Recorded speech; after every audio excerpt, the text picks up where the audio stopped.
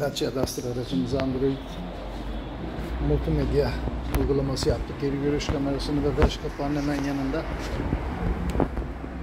Bagajı açma yerinin solunda kamera yeri vardır orijinalinde. Oraya adapte ettik.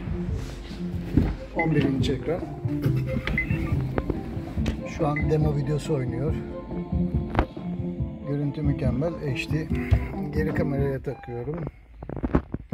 Geniş açı bir geri görüşümüz oldu. Direksiyon kumandamız her şey çalışır. Android multimedyalarda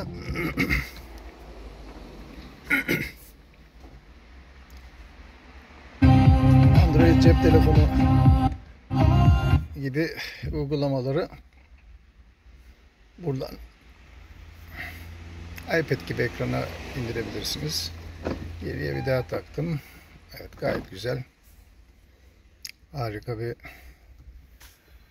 multimedyamız oldu. Güle güle kullansınlar. İş yerimizde bu uygulamaların montajlı satışını yapıyoruz. Video altındaki iletişim bilgilerinden bizimle bağlantı kurabilirsiniz.